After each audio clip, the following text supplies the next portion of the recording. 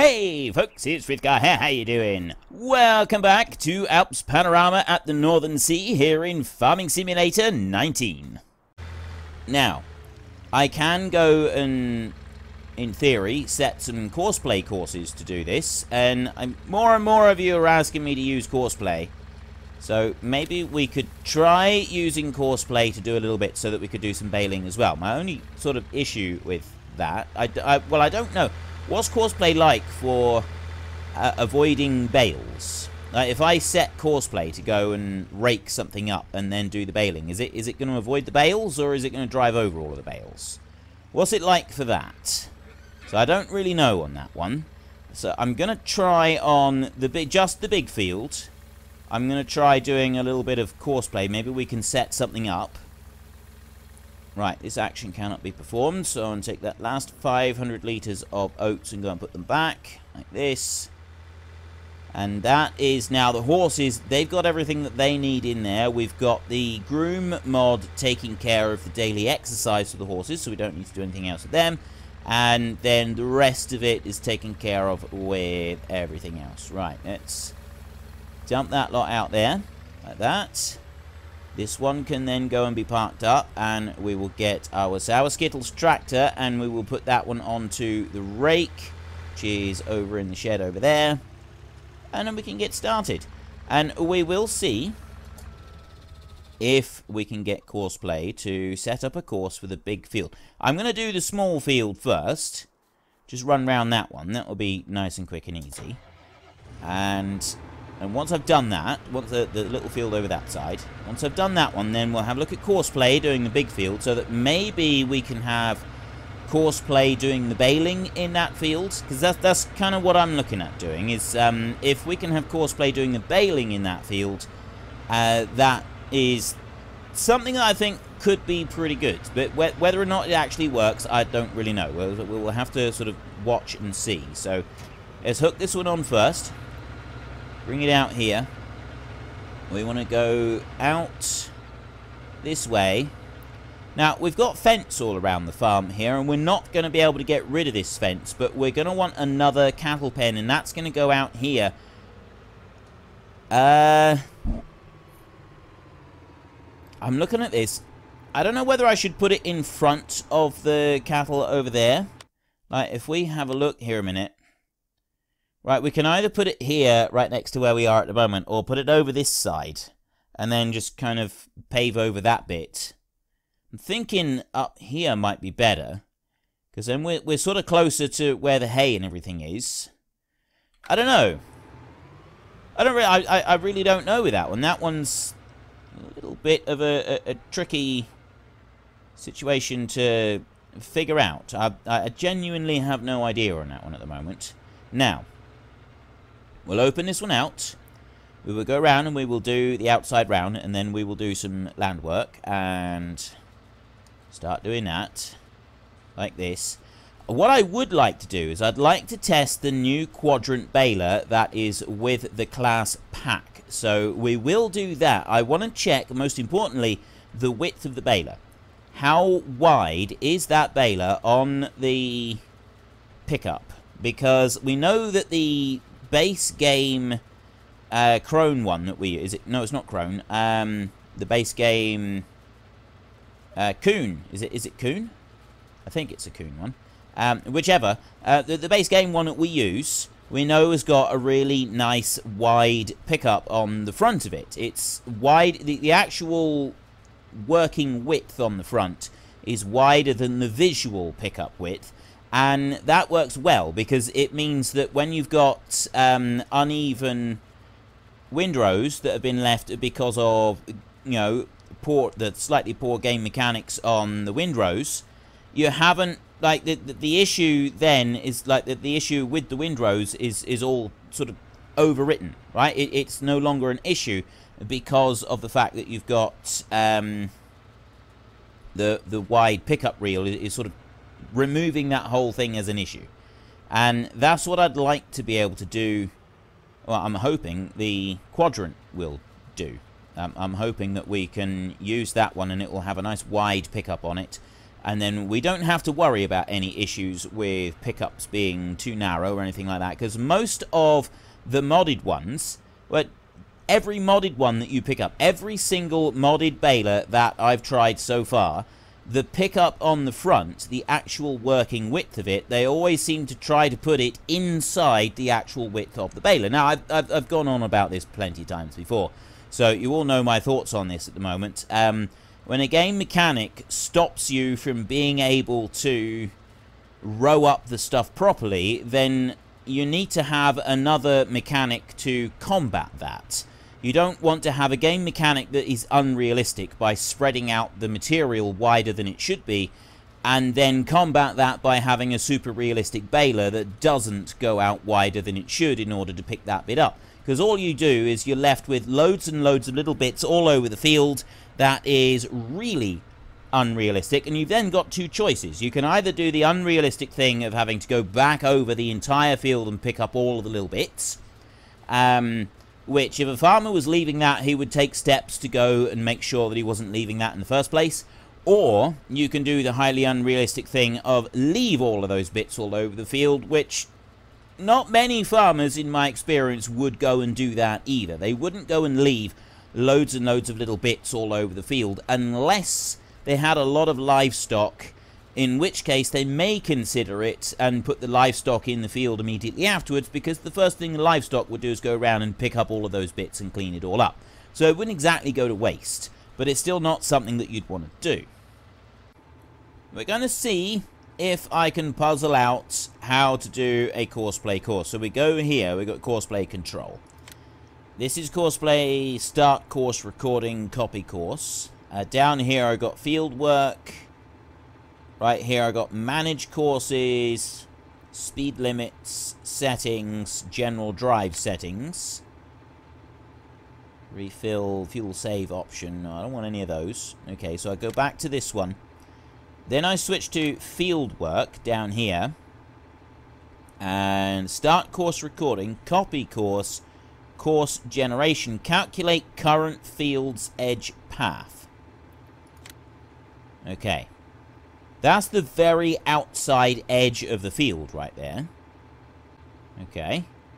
So then I assume field edge path number. I don't know what that means. I've got no clue what that means. This is what I don't like about courseplay. Yes, courseplay is great once somebody has come along and explained everything about it. But if you haven't had someone come along and explain everything about it, it's... It, nothing makes sense. There's no tooltips telling me anything about it. Um, it becomes a lot more complicated.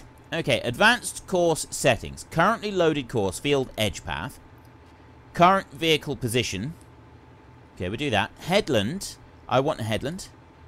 I want two headland passes going clockwise.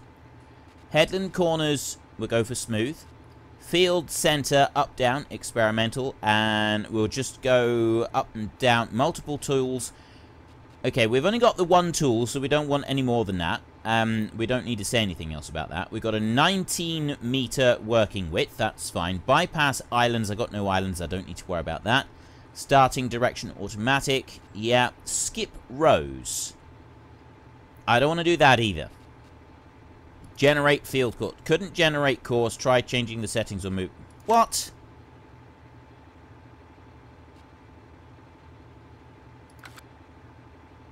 Okay, so we can't generate the course. Oh, hang on a minute. Course generation. Starting position current southwest. Northwest. Northeast. Southeast. Let's go to the southwest corner. Select position on map. Southwest. Okay, so we'll try starting location southwest down there. Generate. Well, that doesn't work either. So what have I done wrong? I've got an edge path calculated. Let me try backing up a bit so that I'm out the way. I'll do, I'll do that, but uh, I, I don't think it likes the edge path or something. Um, Let's go back to here. Field edge path. Copy course. Start recording. Edge path number. I see. I don't know what that is. Leveling and compacting. Transfer drive. Now, what about you? Lane offset. Symmetric lane change. Turn on field path finding. Opposite turn direction. Turning circle, auto 13, working width 19, vehicle convoy, no. And I'm looking in here, and I've got an edge. It's calculated the edge of the field. Thought that's what it was supposed to do. Field edge path number.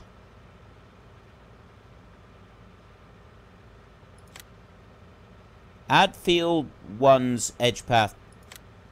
Okay, I don't want that. Course generation. Okay. Headland passes. Starting location. I'll, I'll, I'll stick with the southwest. I've moved the tractor, so maybe it needed me to move the tractor. Multiple tools, I've got one tool on there. Uh, skip rows, I don't want bypass, headlands, generate field course.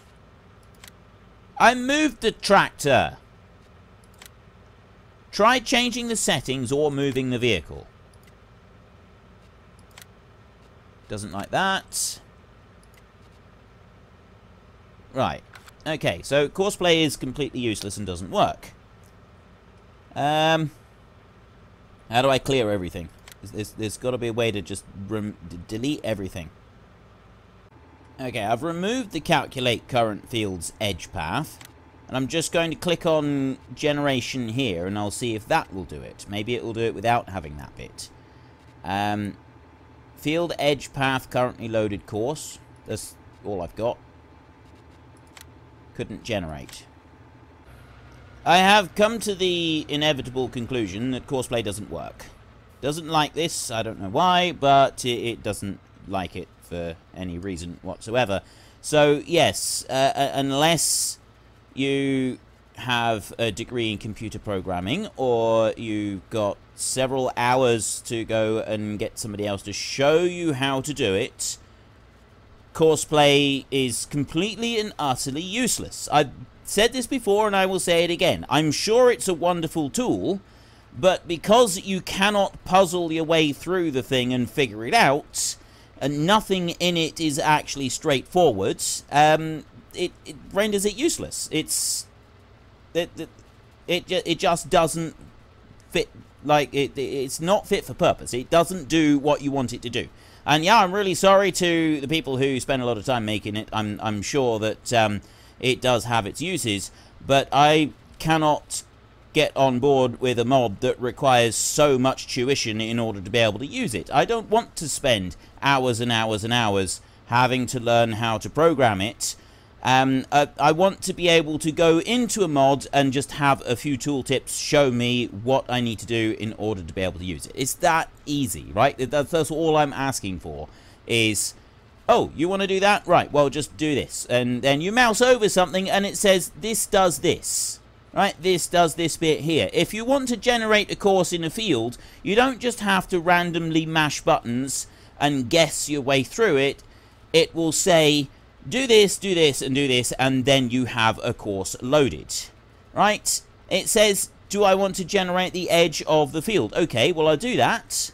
And it tells me, no, well, you've done that, but too bad, because we're not going to use it to generate a field course. Generate field course. It would make a bit of sense that generate field course just by the name, the clues in the name, okay, we'll generate a field course, but it won't let me generate a field course. It doesn't do it. I'm missing something out. There's an ingredient there that is not present where it should be. And yes, I am absolutely certain that there are people who know how to use it who are saying, well, you just need to do this. It's, it's obvious. It's not obvious. It's absolutely not obvious at all. There is nothing anywhere in the description of the mod that tells me how to use it. Therefore, there is a serious failing with the mod. And, yep, I'm sure that there are those of you who absolutely loathe and detest that I don't like the mod at all. Um, but that's that's my reason for not liking it. Is There is nothing anywhere to tell me where I'm going wrong with it and how I can do it correctly. And that, to me, it just... Uh, what, what's the point in using the mod when I'm unable to use the mod? Seriously, that's that, that is um, a serious question. What is the point in me spending a load of time and energy trying to figure out how to use the mod when there is absolutely nothing to indicate whether I'm getting it right or I'm getting it wrong? Um, yes, I know there are lots and lots of videos of tutorials on how to do it, but I don't want to sit and watch lots and lots of tutorials and videos on how to do something. I want to be able to look at it and puzzle it out. That's part of the, the good things about gaming. If you have any game, and if, if you go to a new game, and you go to start playing that game and there is nothing in that game that teaches you how to play it, that teaches you the basics of it. And the only possible way that you can figure out how to play that game is to go away from the game and get a load of tutorials that someone else has gone and done and then use those tutorials to puzzle out how to actually play the game you're going to give it a bad review. You're going to say, no, this game is rubbish. This, it, it, That's the sort of thing that should be included with the game. That's what I'm saying with this, this, this mod. I look at a mod as the same as I would with any game. If I was reviewing a game and it was too complicated for me to be able to figure it out, and there was absolutely nothing in the game that indicated to me how I was supposed to do things, then if it was an early access game, I would really hope that that would, you know, I'd write that off as a bug, as stuff still to be done. Incomplete game that still had a load of work need doing to it. Uh, so that people could actually be able to play the game. If that was in a final release game, I wouldn't do videos on it. I would simply write it off as a really, really terrible, awful game, and I wouldn't make videos on the game. I would just discard it and look move to somewhere else. And that's how I feel about um, courseplay. Is the complexity of using courseplay, and there is absolutely nothing anywhere within the mod, within the game, that shows me how to use it. There's nothing at all. I've just gone through the steps that would make sense. A load of course, generate the field edge, uh, course generation. There is nothing anywhere to indicate what I'm doing wrong. And yeah, I, I appreciate I'm doing something wrong, and quite possibly after someone externally has shown me how to do it, it'll probably be something relatively straightforward. Knowing me, it's probably something really straightforward. But that still doesn't get away from the fact that uh, I've got no indication in-game as to what I'm supposed to do in order to get it right. And that is one of the big, big things that I don't like about it. So, there. Um, I've, I've, I've tried again, and I haven't been able to do it. I will keep trying different things with courseplay, but so far it's proved to be a, a, a rather, a rather disappointing sort of failure. We, we, we've managed to do some bits.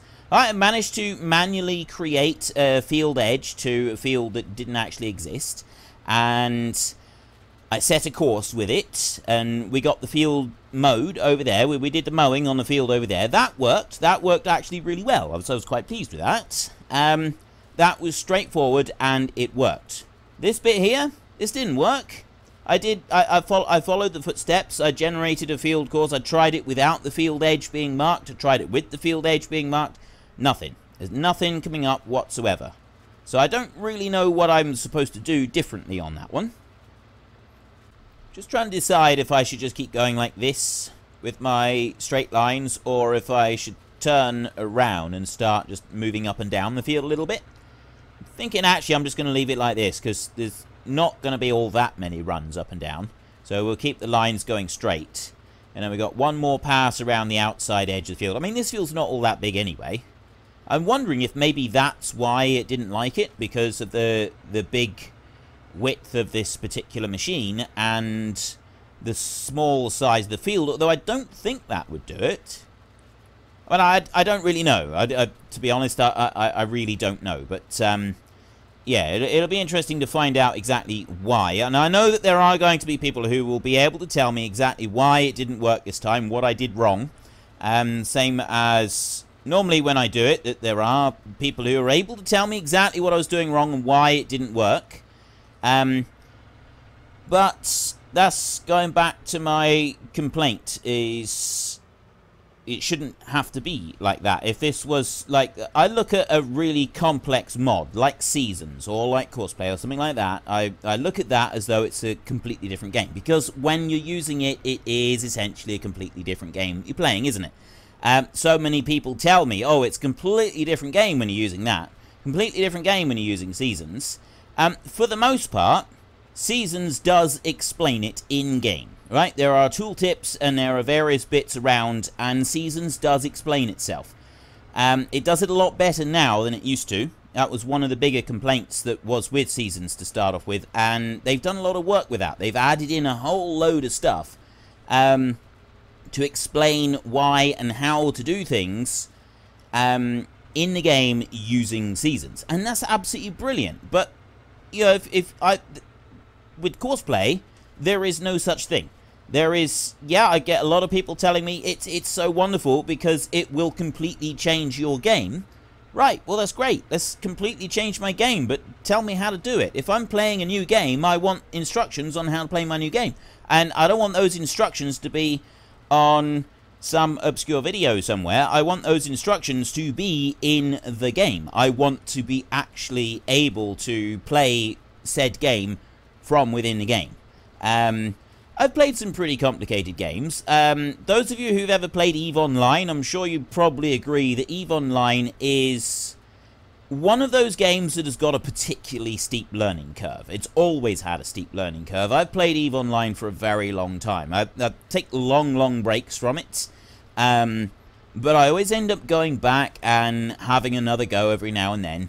Um, and right from the very beginning, when I first started playing that game, it was a very steep learning curve. It was a difficult game to sort of puzzle your way through, but there was still tooltips in. Even when it was at its most difficult, many years ago, there were still tooltips there. There was it still explained how to play the game from within the game. And it wasn't very obvious. It wasn't at all obvious for large chunks of it. Um, but it was still there. It was the, the tuition and everything was still there. You were still able to figure your way through the game um, and get to what you needed to do. And I mean, I'll be honest. One of the things that really sold me on that game was I started playing it and I, I went through the tutorial sort of stuff and I, I got my my first few things. and started to make a little bit of money um, just in in the starting area, and I was thinking I'm doing really well here. Is really good.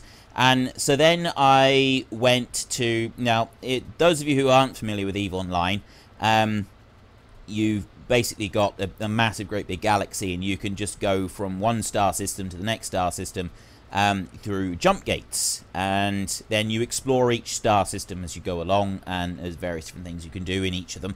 Um, but each star system's got a security rating.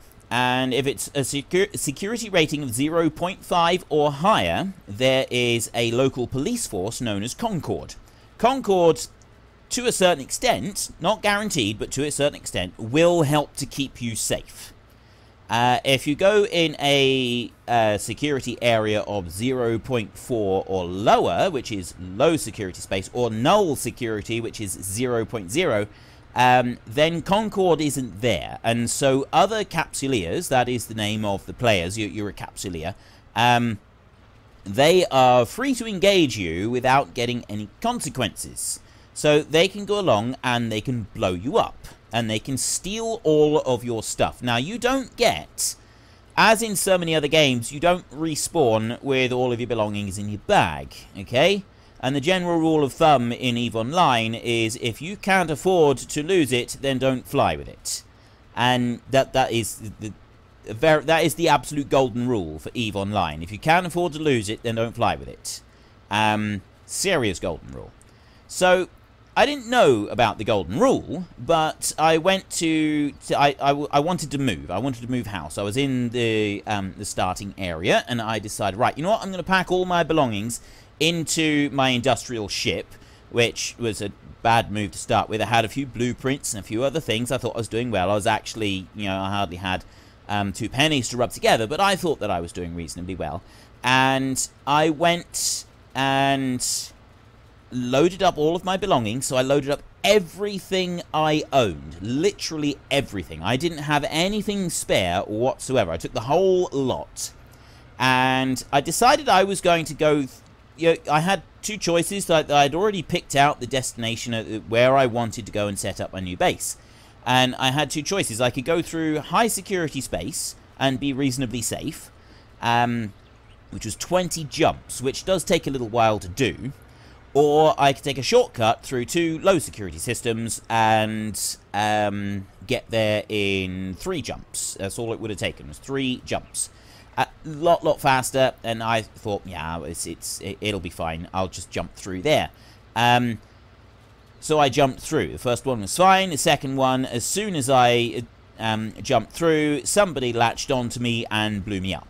And then uh, that that was it. I lost absolutely everything. Everything that was in that ship was destroyed or stolen by the person that blew me up, and there was absolutely nothing that I could do about it. There was nothing whatsoever that I could do about it. I lost everything I owned, and then I was put back to a station with a rookie starting ship, and that was that. And before I jumped through into the low security area, you do get a warning that comes up and says if you go through here, the police cannot protect you. You are fair game to any other player. Are you absolutely certain that you want to do this? So, even though EVE Online is a brutal and savage environment where you can literally lose everything, if you do something daft, like load everything you own onto a ship and then jump into low security space, like I did, um, it still warns you, it still tells you, it still explains to you as you go along what you're doing, and also says to you, um, just a minute, are you absolutely certain that you want to do this? And it does remind you that if you lose things in combat, you don't get them back. You don't. They don't respawn with you or anything like that. So the game does tell you in no uncertain terms exactly what happens. All of it. It, it explains a whole lot. Which is something, and you know, this is it's taken me a while to get to this point, but this is something Courseplay doesn't do. Courseplay does not tell you that you're about to get blown up and you're going to lose everything. Right? Courseplay wouldn't do that. Courseplay would be EVE Online without the tutorials. Courseplay is Dark Souls. That's what it is. Courseplay is Dark Souls without any kind of tutorial whatsoever, and you never ever ever having played any kind of RPG game before either, so you really have no clue what an RPG is, you don't know which end of the sword to hold, and then you're thrown into Dark Souls. That's what Courseplay is.